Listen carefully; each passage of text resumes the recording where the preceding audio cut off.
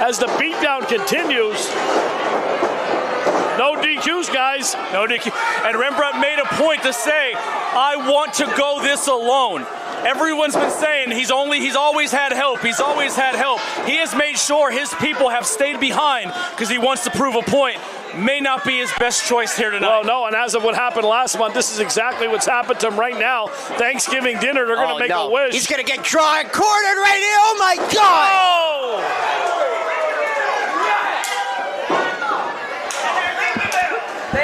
Somebody needs to put Joe Davis through a table. Yeah, I talked to him before here, and I, I asked I'm him. sorry to hear I said, that. What did you think about like why did you bring this stable here? And he quickly corrected me and said, "This is a faction, not a stable. They are here for business and business only." Well, here comes Seaton out there with Cosmic.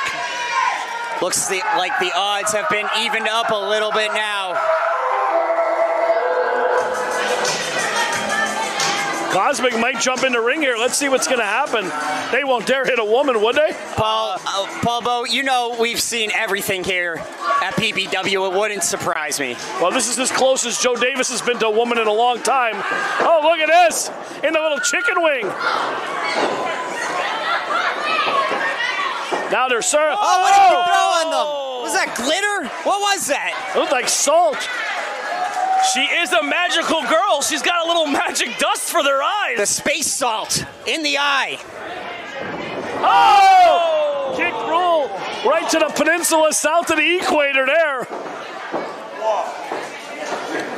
Oh no, Paul. Look at this.